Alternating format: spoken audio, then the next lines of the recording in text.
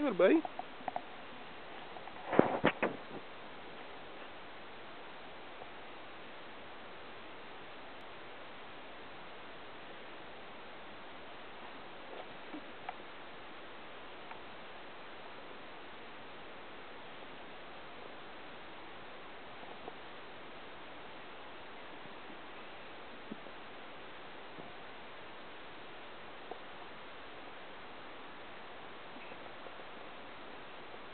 God, if he goes up my pant leg, I'm gonna freak out.